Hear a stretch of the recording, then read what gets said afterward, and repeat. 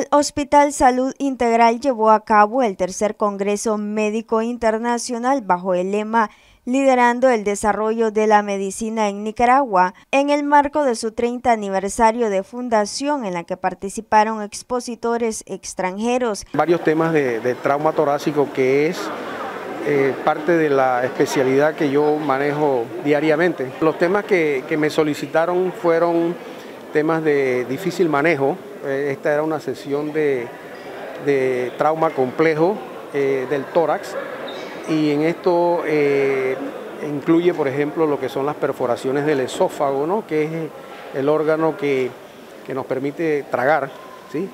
y también las complicaciones de infección en el tórax que requieren manejo quirúrgico y también hablamos de algunas técnicas nuevas para el manejo del trauma en el tórax, que son las técnicas de mínima invasión, como es la videotoracoscopía.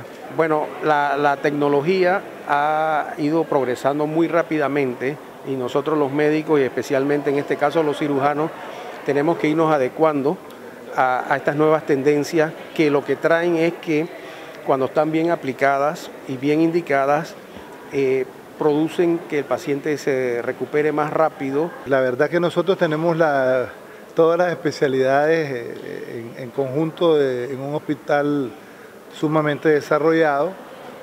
Ah, tenemos, digamos, cirugía general, tenemos neurocirugía, cirugía cardiovascular, cirugía de trasplante, que es el de los, de los pocos hospitales donde se hacen más trasplantes.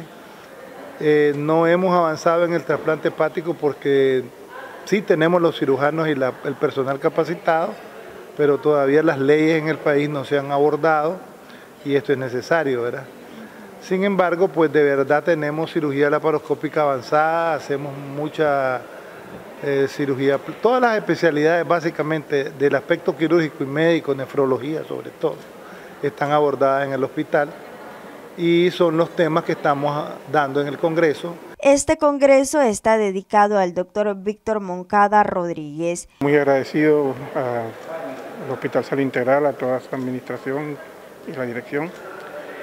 Eh, el Congreso refleja un poquito lo que hacemos, ¿no? Es decir, eh, día a día se hacen muchas, muchos procedimientos, muchas cosas, tanto desde el punto de vista médico como quirúrgico, y de alguna forma tenemos que presentarlo a la luz, que es justamente lo que se hace en los congresos, pues, porque la medicina va cambiando siempre, todo año con año van cambiando, hay nuevas eh, técnicas, nuevas modalidades, que si uno quiere estar al día y ofrecerle la, mejor al paciente, pues tiene que estar eh, actualizado. Noticias 12, Darlene Telles.